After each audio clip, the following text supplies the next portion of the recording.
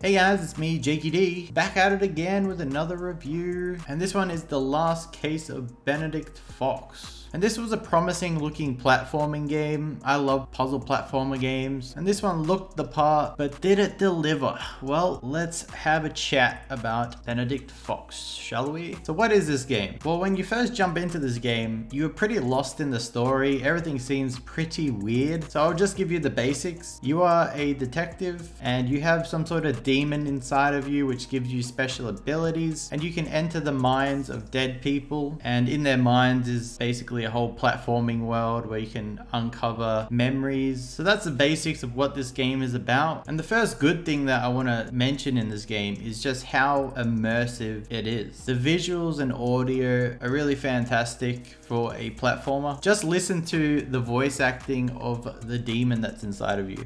Only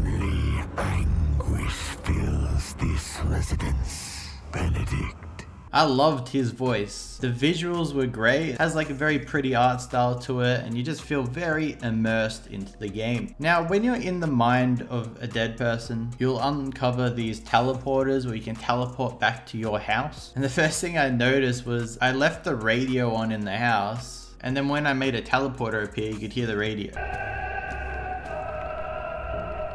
And yes, that spider scared the absolute shit out of me as someone with arachnophobia. And it's just small details like that that make it very immersive and very cool. Now as for positives for this game, that's probably where the positives kind of stop for me. And now we're probably going to get into the more nitty gritty stuff. So how's the combat in this game? Because combat is a big part of this game. And I thought the combat was passable. I thought it was pretty mediocre. So you've got your average melee button, you've got a block button, you've got a dodge button, which I rarely use. I just use the block button. You also have a gun, which does a big amount of damage. But once you fire that bullet, you have to wait until you regenerate another bullet by causing damage to the enemy. And then you also unlock demon abilities where, for example, the first unlock that you can get is to pick up your enemy and throw them up into the air. It doesn't do much damage, it's more of like a stun, so then you can get up to them and do some melee damage. For me, the combat was alright because there was a little bit of a variety, but the problem for me was it didn't feel smooth. It felt very indie-like,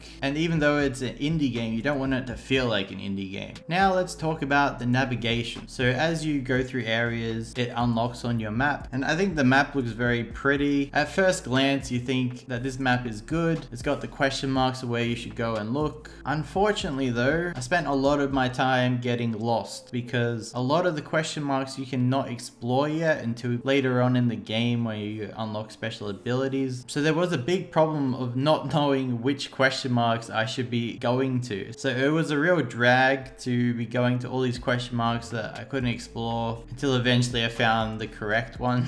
Looking at games that I've loved in the past, like Ori and the Blind Forest, they would always tell you what direction you should be trying to go in to the main objective. And I think that's what this game is missing when it comes to navigation, because otherwise you just feel lost without knowing what sort of area should I be looking in. Another solution would be to make the question marks red if we can't explore that area yet. And then once we unlock the ability that's necessary for that area, then turn it green on the map. So then we just know to go that way. Something else I wanted to talk about was loading screens. So whenever you fast travel or teleport, you go to a loading screen. And I guess that's understandable if you're teleporting like a long way, but there was a part where you go into these mirrors and you're just teleporting around the one room. And every time you go into a mirror and teleport, you get a loading screen. And I felt like that really took me out of the immersion and was kind of annoying. Speaking of this mirror scene, you're trying to drag this lady out of a mirror and you can see when I'm tapping my button really quickly, my guy is just glitching all over the place. So that was another immersion killer. And I think you'll find quite a bit of immersion killers in this game because it does feel very indie-like. Now, because this is like a detective game, right? You play as a detective. I was definitely expecting more puzzles and less combat, but that's not the case with this game. At least in the time that I spent in the game, the only puzzles I came across was finding a pattern to unlock something or finding a key to unlock a door. That's not even really a puzzle, is it? And then the rest of my experience was really just combat and exploration. So yeah, don't expect a ton of puzzles. But like I said, maybe later on in the game, I don't know. So we've gone over pretty much all my thoughts on this game that I wanted to share with you guys, give you an idea of whether this game is for you or not. For me personally, it's not for me. It has impressive visuals, immersive audio, but the combat is mediocre, navigation can be confusing, and the frequent loading screens can be frustrating. So for me, this game gets a 5 out of 10. Let me know your thoughts below. Let me know how you thought I did in this review. I'm always trying to improve. If you guys enjoy these reviews, please leave a like. If you want more, please subscribe, and I'll see you guys in the next one.